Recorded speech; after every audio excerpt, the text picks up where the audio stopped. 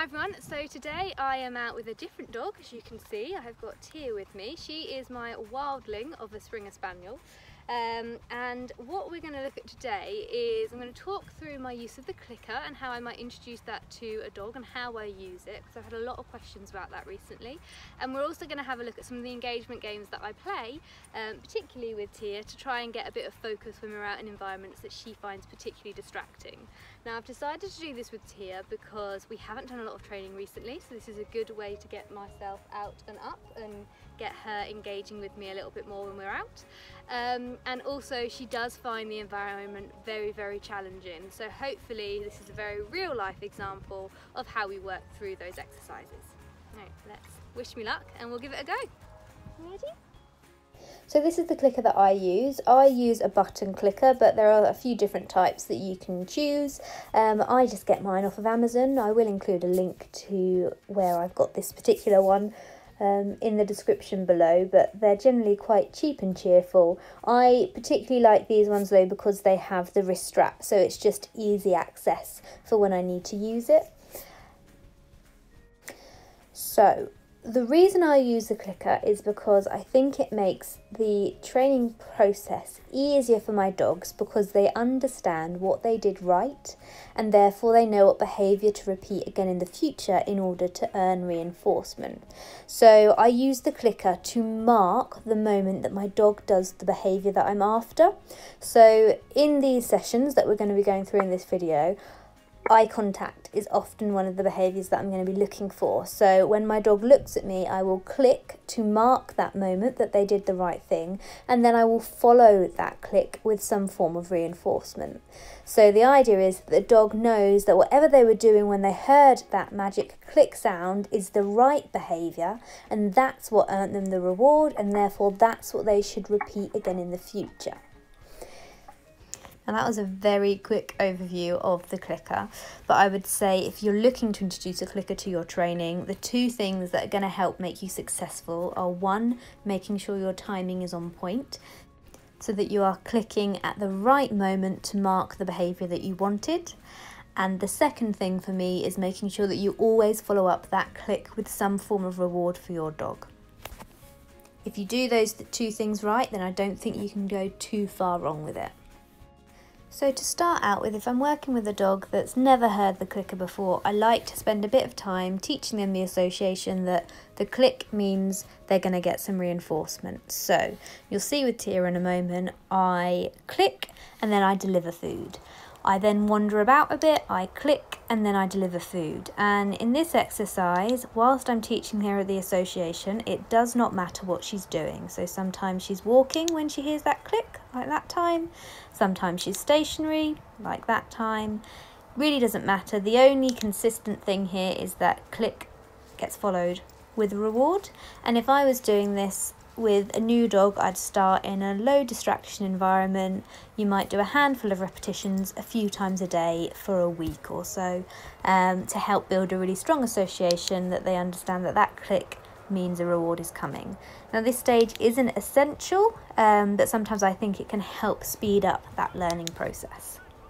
And then we start using the clicker for some engagement games. So my criteria here is that I want her to look at me. I want her to give me eye contact.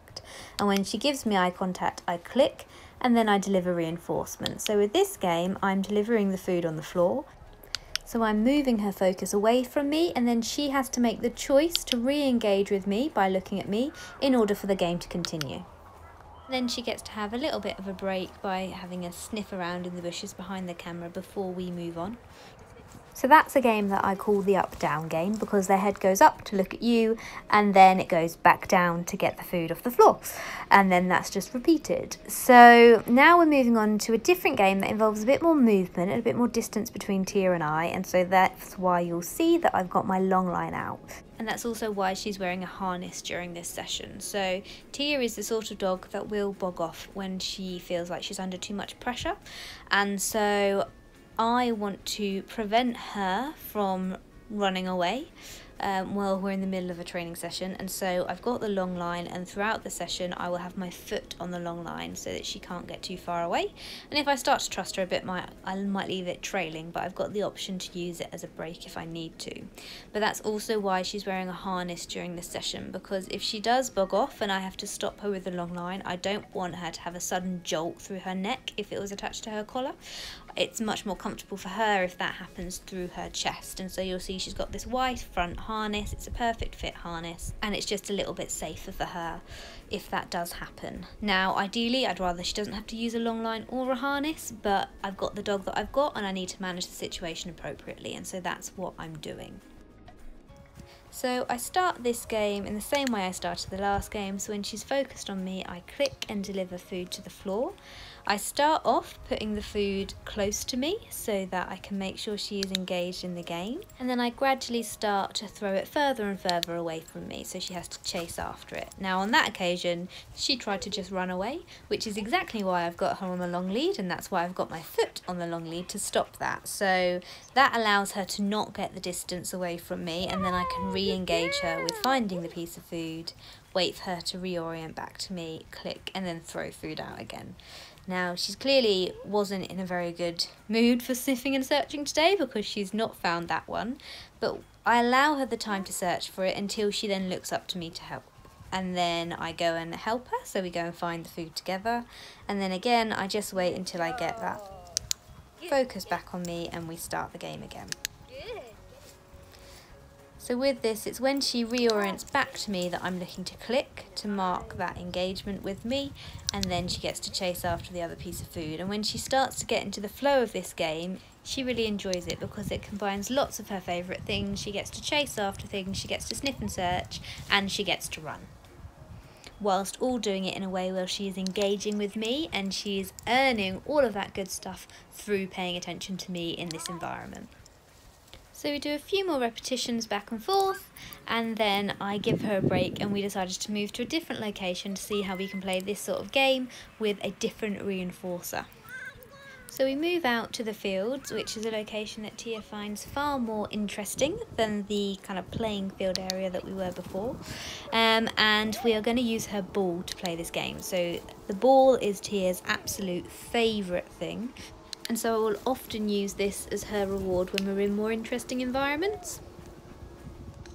So my criteria for this game is that she stays focused on me once I've taken the ball rather than disengaging and going into the environment. So I pause for a second. If she keeps that focus on me, I click and then I reward her with the opportunity to chase after the ball.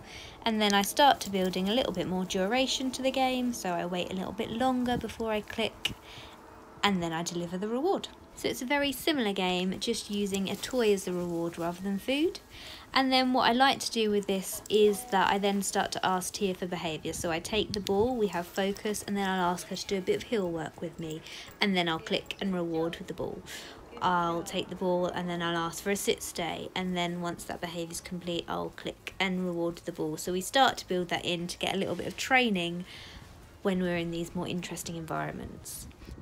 And then at the end of any training session I do with Tia, I let her have the opportunity to run around and decompress a little bit. Now there are a few different ways that I do that, but in today's session I gave her the opportunity to do her style of hunting. Now I will say here that uh, Tia is not a working gundog. She's never going to do a real day's work in her life, bless her. Um, so this is very loose and free form, but the idea is that as we're walking along, I throw tennis balls down around near my feet and then she gets to find them. When she finds them, we have a big celebration, and then I give her the opportunity to chase after it. She brings it back, and then we start searching again. So the idea is she's free from the long line, so she's not got any frustration from that. Um, she is doing what she wants to do, but she's doing it close to me. She's finding good stuff around me, and so I'm still getting engagement with her whilst we're doing this activity. And so this is the last activity that I'm doing with Tia during her outing. But I think it's important to make note that after this, I spend a decent amount of time helping her to cool back down. And when I'm talking about that, I'm talking both emotionally as well as physically. So she is going to be pumping full of adrenaline right now, and so I need to make sure that she has efficient time to start to settle back down before she gets home so that she gets home and is in a position where she is able to rest and relax and recover. So I do that by just popping her on lead at the end of the session and then we walk calmly home. Often I'll give her a bit of a scatter feed as we're on that walk home just so that she can really start to calm down. Um, and I just think it's something that's really important that people often forget about. So particularly for dogs like Tia, I would definitely recommend introducing cool downs into your sessions. But that's it for now. So as always, if you have any tips, any advice or any questions, please feel free to pop them in the comments below. And if not, thanks for watching.